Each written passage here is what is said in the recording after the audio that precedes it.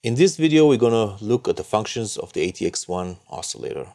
ATX1 is an analog oscillator with ART input, 1 V octave, and can also serve as an LFO. The mode switch allows us to toggle between those modes. So when it's red, it's in ART mode.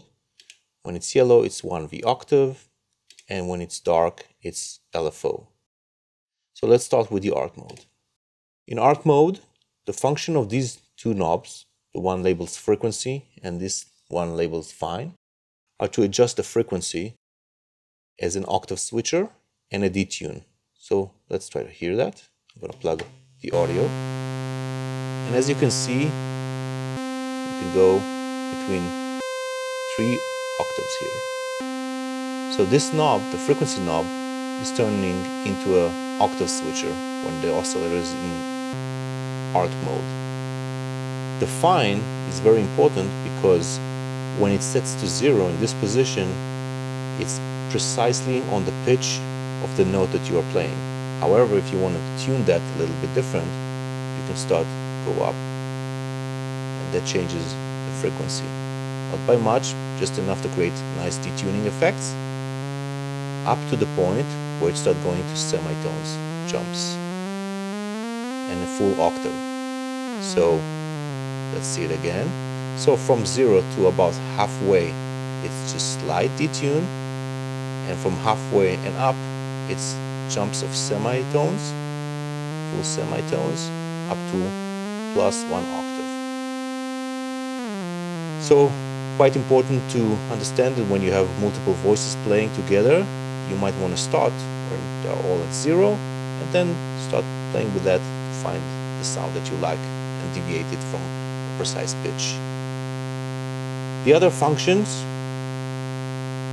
there's a wave shaper control here, so we can go between sine wave, triangle wave, sawtooth, and square wave. And the square wave have a pulse width modulation. That is also voltage control. The wave shaper is also voltage control. And we have an FM input. Now in art mode, the FM input is quite narrow. And the reason for that is because it's mostly emphasized for portamento effects. Sync is provided as well. Sync is an interesting effect as it takes things uh, coming out of the oscillator and makes them a little more metallic. And there's a gate out that is used in art mode as well. When arts receive notes on the art input, you will see the gate out, LED flashing, and the gate signal sends to your envelope, sequencers, or whatever. When used in uh, 1V octave mode, we're gonna go and we're gonna select 1V octave. In this mode, the frequency turns into full range frequency control and the fine tune is just fine tune. Let's try another wave. Now in that mode, that input is turning from an art input into a 1V octave input, so you can use any 1V octave equipped sequencer and plug it in here just like your ordinary analog oscillators. And everything else here stays the same. The FM range is getting extended. Let's use, for example, this ATX1 in LFO mode. Let's take with a sine wave, let's take the audio out, plug it into the FM.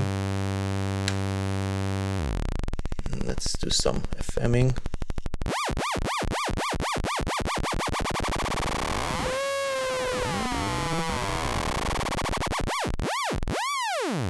So we can see that in LFO mode, cycle can be very slow and all the way up to audio range for the modulation.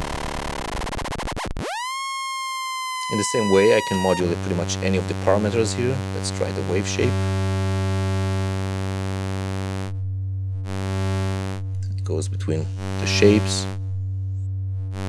Or we can go and do pulse width modulation.